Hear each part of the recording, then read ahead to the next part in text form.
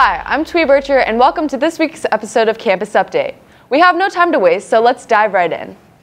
Our sports teams are taking a swift lead on the field, or rather in the pool.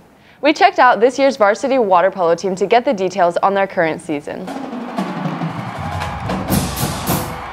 I've been, uh, I started swimming when I was around three years old, and then I picked up water polo when I was about eight. I've been playing ever since. This season has been really good for me because it's my first year on varsity. So I think it's, I, I'm having a lot of fun, a lot of work, so it's been great. My favorite part about playing water polo would be like the intensity and how we have to play as a team. It makes me more social, I would say. Naturally, our biggest rivalry is uh, Newport Harbor. As far as this season goes, I would say Mater Dei and Harvard-Westlake, two uh, private schools that have been uh, kind of changing off titles the past five or six years. They're a very good team, they're very intelligent, so we're just working hard to try and take them down. We're trying to be the first public school to break through and win since 2009. We have a very, very good team this year, and we are definitely top three that are going to win CIF for sure. Come out and support HB Water Polo later this month against Orange Lutheran. Be sure to support the water polo team at their next game. Just across campus, down the hall, and around the corner from the pool stands a hard-working, dynamic man that has a lot of groundbreaking ideas on public education. His name, Mr. Floyd, the assistant principal of Huntington Beach High School. Now let's turn the spotlight over to him to hear what he has to say. Do what makes you happy. You know, I think a lot of seniors feel pressure from outside forces, from the job world, from parents, from wherever. Today in 2016 and going forward is the first step. I think, you know, some of the stuff that's taught in school today is the same stuff that's been taught for over 100 years. And we're, we're in a a time right now where um, some changes probably need to be made to update certain things that we're giving kids the skills that they need to survive in the world today. Go to a school where you're going to fit in, major in something that interests you. As a former teacher, I always appreciated, you know, getting those tips and those new strategies from other teachers. And so in my role now, I really think the most important thing I can do is just support the teachers, allow them to take risks, do things that take them out of their comfort zone because I think real learning takes place when you take people out of their comfort zones and you take risks. So whether it's teachers or students, I think just pushing boundaries and trying new things. Life will be a lot better if you're doing something that you're happy with. So my advice to seniors is just follow your instincts and do what you want to do and don't be afraid to try something and if it doesn't work out, move on to something else. I think education is probably the most important thing that we all get in life because it sets the stage for how we are as an adult while school may not be everyone's thing, I think every student, the motivated students, the unmotivated students, can find something that helps them grow, helps them learn, and it develops who they are as a person by engaging in just the learning process. Walking is such an easy task to do, but it turns out that it might be harder than it seems. When the bell rings and the students are dismissed, the hallways turn into a tunnel of chaos and disorder. So we here at Campus Update have come up with a few easy ways to solve the problem. Here's Levi with a short instructional video on hallway etiquette. Most of you are probably aware that we here at HBHS have a tendency to create traffic in our hallways during passing period.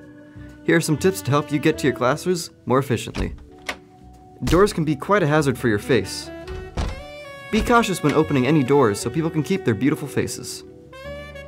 Don't litter in the hallways. It's gross and disrespectful for us in our halls. Instead of littering on the fine polished floor, litter in the trash can. Traveling the halls can escalate into an absolute disaster. When traveling the halls, try to give out turn signals as you go. Be considerate when going to your classes, so it can remain classy. Thank you, Levi, for reporting on such a pressing issue. The wide variety of clubs and activities at our school makes it so easy for students to find their niche. This week, we would like to showcase a music club, a place for students to expand their musical horizons. Here are more details a music so, club. We listen to a bunch of different genres, and we like ask people for like different genres that they might be interested in, and we like take those into consideration. And like each week, we kind of like pick a specific genre or like a specific um, type of music we want to listen to, and we'll do like a little bit of like a lesson on it, and so people kind of like understand what it's about in case they like don't know about that genre. We hope to have open mic nights throughout the year to raise money for sort of underprivileged music programs to give student kids who can't afford music lessons scholarships so that they can enrich their lives through music. And we hope to have one by the end of this month. And if we have more people in our club, then it's more likely we can have more open mic nights. I think by the end of the club, I think people should take away, like, hopefully they've learned more about music and what kind of genres there are. And now their music horizons are more broadened, and now they know more about just music in general. Music club came as an idea because Claudia and I like were thinking about like MMET and how a lot of kids have different music styles, and we were trying to think of another way that we could have people get together and like show them besides just like MMET where we're kind of given a show and like we had to like play songs from that and everything. I'd also really like for people to like maybe if they want to start music but they haven't figured out how like i would like them to be like oh hey there's all these musicians in the club like maybe i could talk to one of them and have them teach me and so just to inspire more people to have music in their life. The most important thing about Music Club is that it allows a safe place for students to bring together their different musical interests and try to express them to like other students and everything. And then through that, people get to learn about different music genres and then maybe find something that they didn't know about and then start liking that too. So yeah, come join music. We meet every Friday in room A3, which is Miss Harshman's room. It's a good time. That sounds like a great deal of fun. And now for the moment you've all been waiting for. He's tall, he's handsome, and he's got great hair. He's Mike Lombardo, and he's here with another episode of Do you have any pregame rituals for football? Uh, every single day I go to bed after midnight, game before. It's kind of a tradition. Okay, I always have my little foam snake. That's incredible. How do you pick out your outfit in the morning? Based on the weather. I uh, sleep with my clothes on. So I wake up and uh, I go on Instagram and look up Michael Lombardo, and uh, I see vintage. So I go in my closet and find what's not vintage, and then I put it on. What do your friends say is your best quality? My pterodactyl noise. Ah! My comedy. What is your favorite quote of all time? My favorite quote of all time is uh, "Just do it" by Nike. If you shoot a duck, I'm afraid of toasters. Wait, wait, what is it? What are you known for? Uh, take a guess. My chair. Uh, I can run like Sonic. John Cena or Hulk Hogan? John Cena. John Cena. John Cena. John Cena, obviously, because you can't see me. Hulk Hogan! John Cena or Hulk Hogan? Ben Affleck. That was astonishing, Mike. The student body here never ceases to impress me.